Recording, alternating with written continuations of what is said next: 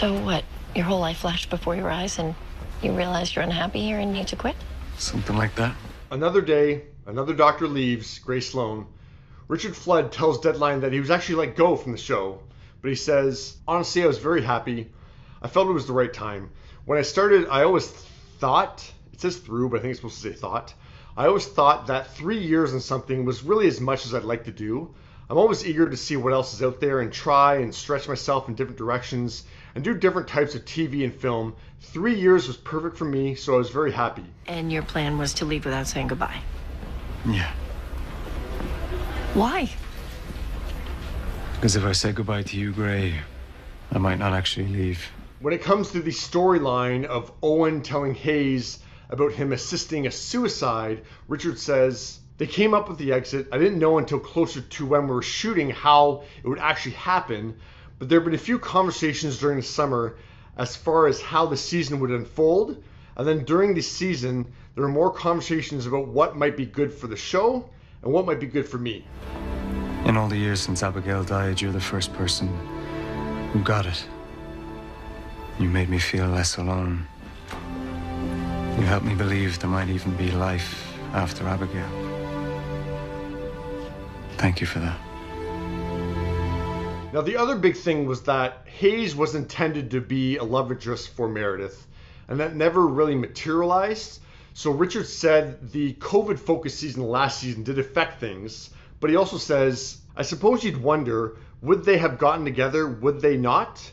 If they had got together properly, would it have worked? I think the fans may have liked to have seen more of what that dynamic might have been. It's certainly the response I'm getting, but it's not really for me to say. The team there, they know best, and they push the show in what direction they feel is right. And my job is to play my role as best I can, so don't question those things too much.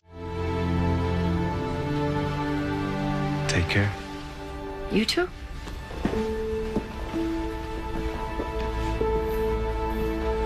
When it comes to shooting his exit, Richard says, When I finished my last scene, everybody was there and everybody clapped and spent a bit of time with you, which I really appreciated. As far as doing the scenes, you're just playing the role in the story. You do the scenes, and then that's it. You move on. He has a great actor's mentality in that he doesn't really feel tied to it. He's just like, yeah, it's done. I'm moving on. That's what it is. I had a great time. I'm moving on. Yeah, Hayes, it was clear he was brought on to be a love interest for Meredith, but there was just no chemistry. Like, that's reality. There was just no chemistry. And I mean, I've watched Grey's Anatomy from the beginning, and he was an all right character, but he certainly. I'm not dismissing him as an actor. He's a fine actor, but him being gone has no effect on this world whatsoever.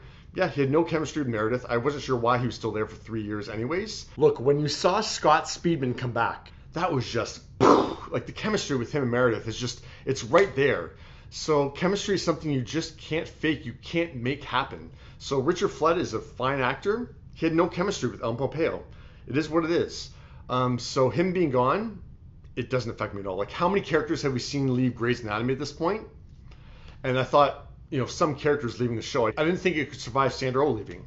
It survived Sandra Oh leaving. So I'm not dissing Richard Flood as an actor at all, but he's a blip on the radar of Grey's Anatomy, and that's that's a terrible thing to say. But I'm just saying, yeah, him being gone, I have, it doesn't affect me in any kind of way. But really, me watching this show now, I'm just watching it to watch Meredith Grey, and I've been watching Meredith Grey for 18 seasons, so that's who I'm still invested in. So every other character is disposable to me. I'm not dissing any other actor. It's just that I'm watching the show for Meredith Grey, so him being gone doesn't really have a big effect on me. And when it comes to this Owen storyline, the weird thing I find about it is that so uh, Kim Raver's character, she was a soldier as well. She went through PTSD. So I don't really get how Owen thinks that she wouldn't understand assisting a former soldier for an assisted suicide when he was dying anyways. I find it really odd that Owen thinks that I can't remember um, Kim Raver's character name, but that he thinks that she wouldn't understand that. So I find that odd storyline right now. But yeah, what do you think of Hayes' exit?